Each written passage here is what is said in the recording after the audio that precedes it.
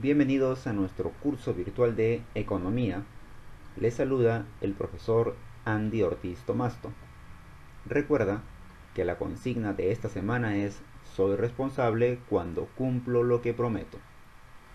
El día de hoy vamos a conversar brevemente sobre la circulación. La circulación es el proceso económico que consiste en llevar los productos, los recursos y servicios que se han creado desde la empresa o fábrica hacia los mercados. Y es en los mercados donde uno puede acceder a ellos.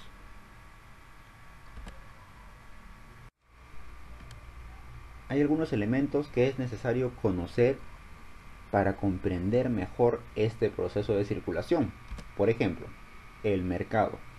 El mercado se define como la interacción entre ofertantes, vendedores, y demandantes que vienen a ser los compradores.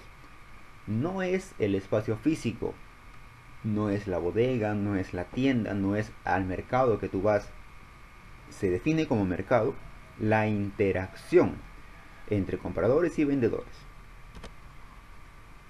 Por otro lado tenemos el dinero, que es característico del comercio indirecto.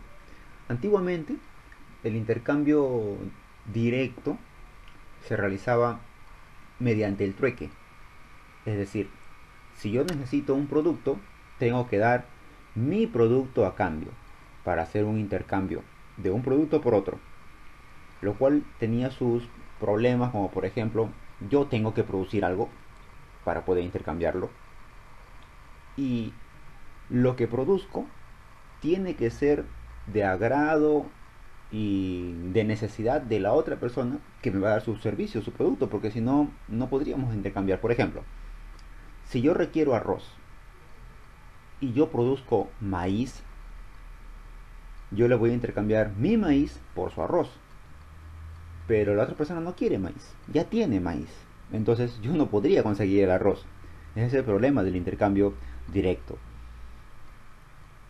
En cambio, en la actualidad, en el intercambio indirecto, con el dinero ya se puede establecer pues la compra de cualquier producto.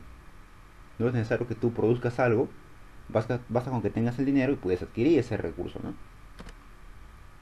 Los comerciantes, que vienen a ser aquellas personas que comercializan los productos, es decir, se encargan de traer, de abastecer los principales mercados, las principales bodegas y llevan el producto desde el punto de abastecimiento mayorista hasta un lugar cercano a tu vivienda para que tú puedas adquirirlo de manera más rápida.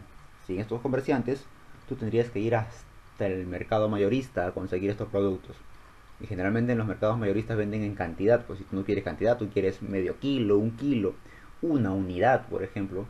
Pero ellos como van a vender a varias personas, compran en cantidad. Y claro, al vendérselo, tienen un margen de ganancia también ellos, ¿no? Porque se han levantado muy temprano, han ido a conseguir estos recursos, se han organizado y luego tú cuando te levantas a las 10 de la mañana, vas al mercado, ya los encuentras ahí vendiendo. Entonces, en honor a su esfuerzo, también tienen un margen de ganancia. El sistema de pesas y medidas que permite organizar mejor las ventas, ¿no? Y claro, también las compras, porque tú en base a un kilo, en base a un litro, ya puedes determinar pues sus variedades, ¿no? Si te dicen, por ejemplo, el kilo de naranjas está a 4 soles, ya, pero tú no sabes cuánto es un kilo, vas a pesar las naranjas, ¿no? Pero pesa un poquito más, ¿qué hacemos? ¿Le quitamos parte de naranja? No, le subimos el precio relativo según cuánto cuesta cada kilo, igual con los litros, ¿no? El transporte muy necesario para llevar toda la mercadería que se ha creado en las fábricas, en las industrias, en las empresas, hasta los principales centros de abastecimiento, tanto mayorista como minorista. Y acá tenemos pues diferentes tipos de transporte. Hay recursos que no van a ser transportados por tierra, por, camiones, ¿no? Sino que vienen de otros países y tienen que cruzar el océano. Entonces hay transporte aéreo, transporte marítimo, y bueno, el común que es el transporte terrestre. el producto que es el bien en cuestión, el bien que se ha creado, el bien que se va a comercializar. Y el crédito que es una herramienta del mundo actual que te permite comprar ahora y pagar después. Suena bien, suena fácil en la teoría y en realidad no es muy complicado, pero hay que tener mucho cuidado. Porque el crédito no es que tengas plata rápida y luego lo pagas cuando quieres, no, no. Tú tienes el beneficio de acceder a un producto a cierta cantidad de dinero en el instante y vas a ir pagándolo después de manera puntual. Porque si te trazas un día, ya el crédito sube. Lo que vas a pagar tiene que subir. Vas a pagar más ahora. Vas a pagar en plazos de manera puntual y generalmente es un 10 o un 20% adicional al costo del producto. Si compras, por ejemplo, un televisor al crédito a, no sé, su precio normal es 1000 soles. Pagando en crédito tú vas a pagar 1200, 1300. Y en ocasiones, si el producto que vas a comprar, adquirir con crédito es muy costoso como un auto o una casa, un departamento, el crédito va desde, un 70 o un 80% de interés. El interés llega a ser casi el doble.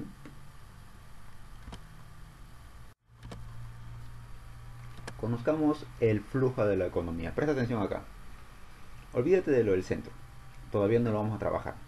Solamente nos centramos en la figura de la izquierda, los hogares o familias, y en la figura de la derecha, las empresas. Mientras que las empresas ofrecen mira, bienes y servicios, acá está línea en color rojo,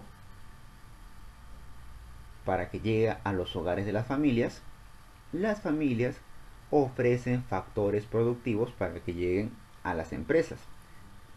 ¿Qué son los bienes y servicios? Todos los productos que se crean en la empresa. Eso llega al mercado de bienes y servicios, las familias lo adquieren y las familias ofrecen a las empresas factores productivos que se comercializan en el mercado de factores productivos. ¿Y qué viene a ser los factores productivos? Su fuerza de trabajo. Es decir, las empresas contratan trabajadores. Aquí hemos analizado el flujo en color rojo, que viene a ser el flujo real. Ahora analicemos el flujo en color celeste. Por ese producto, las familias van a pagar cierta cantidad de dinero y ese dinero va a ir a parar a las empresas. Las empresas van a pagar el sueldo, el salario de los trabajadores. Se le conoce como pago de rentas. Y ese dinero va a ir a, parar a los hogares, a las familias, que lo invertirán comprando bienes y servicios. Dicho dinero regresará a la empresa y la empresa le pagará a los trabajadores. Este es el flujo de la economía. Este flujo celeste se le llama el flujo nominal. De esa manera, así tan simple explicado, funciona la economía. Si uno de los dos factores se afecta, perjudica también al otro. ¿Y quién se encarga de establecer que todo esto funcione bien? El sector público. Si bien es cierto, el mercado se regula solo, el sector público se encarga de supervisar que no haya em, apoyo, no haya ventaja de uno sobre otro. Por ejemplo, que las empresas no abusen de los precios que perjudican a las familias y se encargue de supervisar que las familias no boicoteen los productos de las empresas, por ejemplo, ¿no? Entonces analicemos los polos económicos. En un lado tenemos las unidades de producción, que vienen a ser las empresas, fábricas o industrias, como tú quieras llamarlo, que son las que producen los bienes y servicios. Y por otro lado tenemos las unidades de consumo, que vienen a ser los hogares o las familias, que vienen a ser pues los que consumen estos productos que han creado las empresas. Y los flujos económicos que hemos visto en este gráfico anterior, podemos distinguir el flujo real, que era el que estaba en color rojo, que se refiere al intercambio de productos al intercambio de servicios, al intercambio de fuerza de trabajo y el flujo nominal referido básicamente al intercambio de dinero, intercambio monetario, ya sea al pagar por un producto o al pagar el salario a un trabajador. Primera pregunta de nuestra autoevaluación nos dice, es la fase del proceso económico donde se intercambian los productos por dinero. Y eso donde ocurre en los mercados. Y los mercados son estudiados en la fase llamada circulación. Recuerda, la inversión te permite iniciar un nuevo proceso económico con el ahorro. La distribución se refiere al pago de salarios, al pago, de, al pago económico a cada uno de los factores que han intervenido en la producción, mientras que la circulación es el tema que hemos visto el día de hoy y se refiere al intercambio de productos por dinero.